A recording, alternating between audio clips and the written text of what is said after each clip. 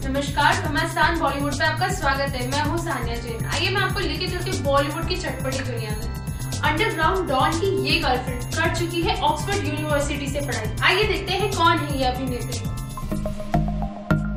Actress Monika बैदी की ज़िंदगी किसी फ़िल्म की कहानी से कम नहीं है।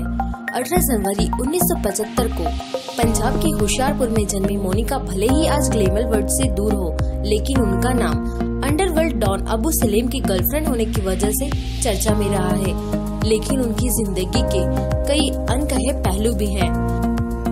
रिपोर्ट्स के मुताबिक, साल उन्नीस में उनके माता पिता नॉर्वे जाकर रहने लगे। मोनिका ने ऑक्सफोर्ड यूनिवर्सिटी से साहित्य की पढ़ाई की। मोनिका ने अपने फिल्मी करियर की शुरुआत तेलुगु फ़िल्म ताजमहल से की थी। लेकिन यहाँ फ़िल्में मिलने के साथ उनकी दोस्ती हो गई अंडरवर्ल्ड डॉन अबू सलीम से। इस दोस्ती की वजह से बॉलीवुड की कई फ़िल्में मोनिका को मिली, लेकिन अपराध जगत से वास्ता भी। नमस्कार दोस्तों, अगर आपने अभी तक हमारे चैनल को सब्सक्राइब नहीं किया है तो अभी सब्सक्राइब करें और साइड में बेल आइकन को ज़रूर दबाएँ, जिससे घमासान से जुड़ी हर ताज़ा अपडेट्स आप तक सबसे पहले पहुँचे।